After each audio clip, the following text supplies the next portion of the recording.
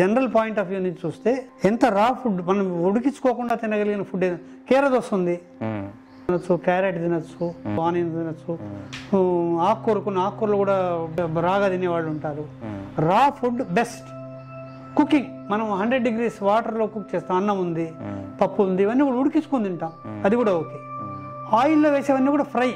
Oil అంటే hundred degrees కంటే ఎక్కువ.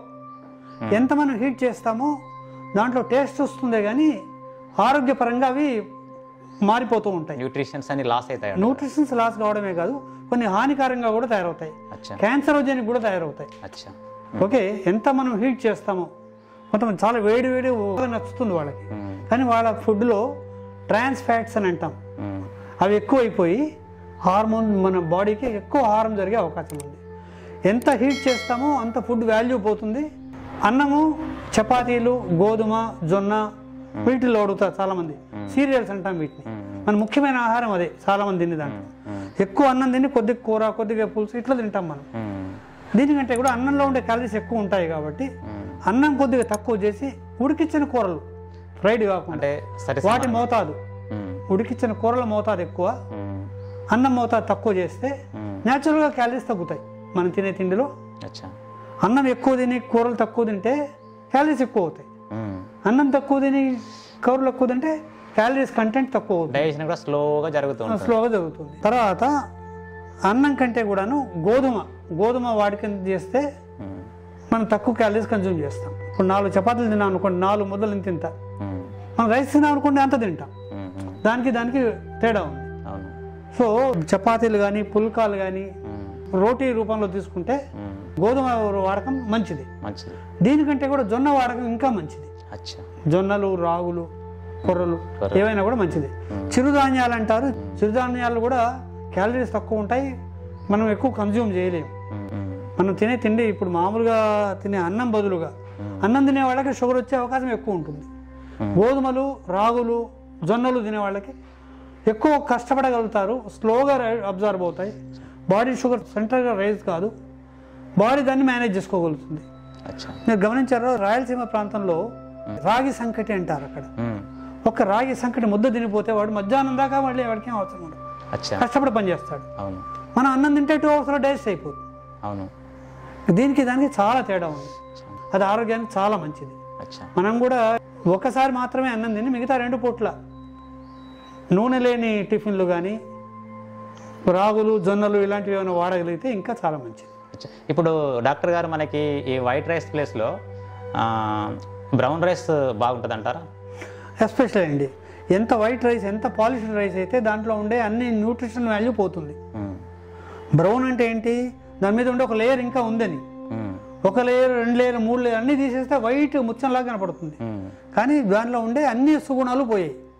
ఒక కార్బోహైడ్రేట్ మాత్రమే మిగిలింది. అచ్చా. పైన ఉండే విటమిన్ బి వన్ ఉంటుంది ఫ్యాట్స్ ఉంటాయి అన్నీ ఉంటాయి. ఆ లేయర్స్ అన్ని తీసేసి మనం దాన్ని అందుకే దంపుడు బియ్యం అంటారు కదా ఓ, దంపుడు బియ్యం అంటే దాంట్లో ఉండే అన్ని గుణాలు ఉంటాయి. అన్ని న్యూట్రిషన్ వాల్యూ ఉంటుంది. గ్లూకోజ్ కూడా స్లోగా రిలీజ్ అవుతుందా? స్లోగా రిలే- అంటే ఎంత వైట్గా రైస్ ఉందో దానికి దీనికి పాలిష్డ్ రైస్ కంటే కూడా నాన్ పాలిష్డ్ ఆర్ దంపుడు బియ్యం ముతక బియ్యం. అది బెటర్ ఆరోగ్యానికి. ఇది కూడా ఇంపార్టెంట్ చాలా మంది అడుగుతారు కొత్త బియ్యం తినాలా పాత బియ్యం. పాత బియ్యం నుంచి షుగర్ తొందరగా రిలీజ్ కాదు. కొత్త బియ్యం నుంచి ఎక్కువ తీయగా ఉంటుంది తొందరగా రిలీజ్ అవుతుంది. అది కూడా తేడా ఉంది. అయినా రైస్ అంటేనే ఒక కొంత దాకా షుగర్ వాళ్ళకి. ఇప్పుడు మీరు ఒక టెస్ట్ చేసేటప్పుడు మేము అన్నం తినాలనుకోండి వాటి షుగర్ వెంటనే త్రీ హండ్రెడ్ పెరుగుతుంది. కాబట్టి రైస్ అనేది అంత మంచిది కాదు షుగర్ వాళ్ళకి. ఒక మేమేం చెప్తామంటే మామూలుగా ఈ తినే తిండిలో కూడా మార్నింగ్ టైంలో నూనె లేని టిఫిన్స్ తీసుకోండి. ఇడ్లీ కానీ ఉప్మా కానీ నూనె లేని దోశలు కానీ. ఇలాంటివి ఏవి తీసుకున్నా కూడా నూనె లేని టిఫిన్లు మార్నింగ్ టైంలో. ఒక వడ పూరి లాంటివి కాకుండా. వడాపూరిలో ఎక్కువ ఆయిల్ ఉంటుంది. ఆయిల్ కంటెంట్ నూటిలో అది అది. కాబట్టి అలాంటివి తీసుకోవద్దని చెప్తాం. మధ్యాహ్నం పూట అన్నం తినమని చెప్తాం. నైట్ టైం వీలుంటే నూనె లేని టిఫిన్లు తినొచ్చు. లేదా రోటీ కానీ జొన్న మామూలు ఇంకా సంకటి అంటారు ఉప్మా అంటారు రోటీలు అంటారు. ఇవి ఇంకేదైనా పర్వాలేదు. అన్నం మాత్రం ఒక్కసారి తినమని చెప్తాం. ఇవన్నీ కాకుండా ఈవినింగ్ టైం స్నాక్స్ తీసుకోవచ్చు. Evening time snacks. కీర దోశ కానీ. టొమాటోలు కట్ చేసిన టొమాటోలు కానీ. మజ్జిగ గ్లాసులు మజ్జిగ కానీ ఇవన్నీ తీసుకోవచ్చు. కాఫీ అంత మంచిది కాదంటాం. కాఫీ వల్ల sugar levels rise already sugar ఉండే టీ వాళ్ళకి కాఫీలు అద్దు అంటారు తక్కువ చేయమంటాం. కెఫిన్ వల్ల స్ట్రెస్ఫుల్ హార్మోన్స్ రిలీజ్ చేసే బాడీ లోపల ఉన్నటువంటి ఉత్తేజం కావాలి కాబట్టి. ఒక విధమైన హార్మోన్స్ తయారు చేస్తుంది. ఆ సిచ్యువేషన్లో షుగర్ పెరిగే అవకాశం ఉంటుంది. బాడీకి అది మంచిది కాదు. ఇప్పుడు ఐదు ఆరు సార్లు షుగర్ ఈ మధ్య గ్రీన్ టీ తర్వాత అవి అవి మంచిది. లెమన్ టీ టీ ఇవన్నీ రకరకాల అవన్నీ మంచివే. Caffeine containing stuff especially tea coffee. Coffee మరి ముఖ్యంగా. ఒకటి రెండు సార్లు తాగితే మునిగిపోయింది ఏం లేదు కానీ దాని too many times too much కొంతమంది గ్లాసులు ఫుల్గా ఉంటే కానీ. తాగరు. నాలుగైదు సార్లుగా తాగకుండా ఉండరు. ఇది రాంగ్ ఎందుకంటే ఆల్రెడీ షుగర్ ఉండే వాళ్ళకి కాఫీ వల్ల కొంత ప్రాబ్లం ఉంది అని సైంటిఫిక్ స్టడీస్ ఉన్నాయి. షుగర్ వచ్చిన వాళ్ళకి మాత్రం కాఫీ మంచిది. అంటే ఎక్కువ తాగడం వల్ల ఎక్కువ తాగడం వల్ల మంచిది కాదు. మంచిది ఆ one two cups of coffee పెద్ద ఇబ్బంది లేదు. ప్రతిదాన్ని మనం ఇప్పుడు యూట్యూబ్లో వచ్చే వీడియోస్ని ప్రతిదాన్ని ఫాలో కావాల్సిన పని లేదు. ఎవరి ఉద్దేశం వాళ్ళు చెప్తూ ఉంటారు. ఇప్పుడు ఒక అదే యూట్యూబ్లో చూస్తారు మీరు ఇది తినండి రెండు రోజుల్లో మీకు అంతా మొత్తం నాకు తగ్గిపోయిందని. చెప్తుంటారు. ఇవన్నీ ఒక కొన్ని అడ్వర్టైజ్మెంట్ స్ట్రాటజీస్ కావచ్చు బిజినెస్ స్ట్రాటజీస్ యూట్యూబ్లో పెట్టడానికి ఒక విధమైన రెస్ట్రిక్షన్ లేదు కాబట్టి సైంటిఫిక్ వ్యాలిడిటీ అన్నిటికీ ఉండదు. ప్రధాన్ని చూసి మనం నమ్మాల్సిన అవసరం లేదు.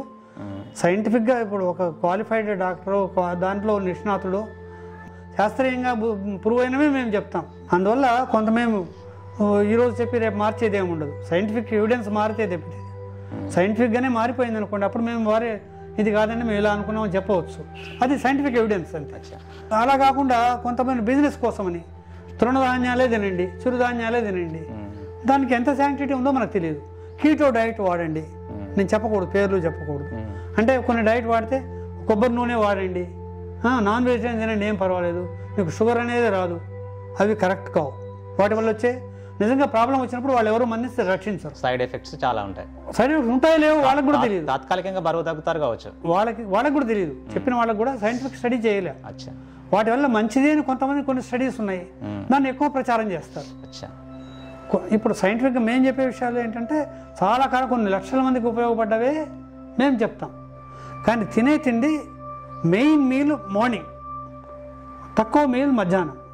నైట్ మీల్ మరి ఇంకా తక్కువ. ఇది జనరల్గా ఫాలో అయితే బాగుంటుంది. డాక్టర్ గారు మరొక ప్రశ్న అండి. ఇప్పుడు ఆహారంలో ఆ, చాలా మంది పేషెంట్స్ ఏ ఫ్రూట్ తినాలి అనేది అందరికి అనుమానం. కొందరికి బనానా తిను అని చెప్తూ ఉంటారు కొందరు ఆపిల్ తిను అని చెప్తా ఉంటారు కొందరు జామకాయ తిను అని చెప్తా ఉంటారు. అసలు ఏ ఫ్రూట్స్ తినాలి ఏ ఫ్రూట్స్ తీసుకోకూడదు? బాగా స్వీట్గా ఉండే ఫ్రూట్స్. సపోటా ఉంది సీతాఫలం ఉంది మ్యాంగో ఉంది. బనానా. బనానా కూడా రైప్ బనానా ఉంది అనుకోండి అచ్చా. దాని వేరే.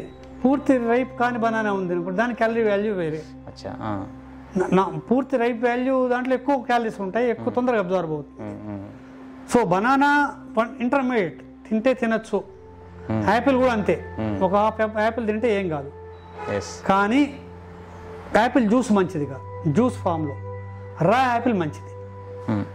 జ్యూస్ అయినా ఇమీడియట్లీ గ్లూకోజ్ జంప్ అవుతుంది అందులో ఫ్రూట్ జ్యూస్ మంచిది కాదు.